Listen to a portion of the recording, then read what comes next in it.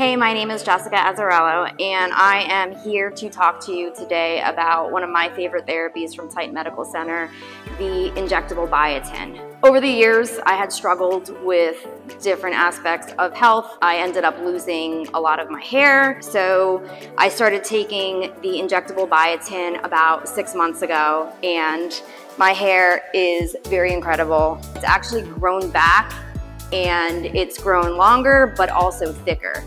So I was actually born with very thin hair. So when I started losing my hair, you could notice when I would pull my hair back, I would have like bald spots. And I would even have people make fun of me about it and it was just like really hard for me. So I'm very, very thrilled with the progress so far. I basically, um, I receive my therapies every single month and every morning what I do is I use a very tiny needle and I just inject it and you don't even feel anything.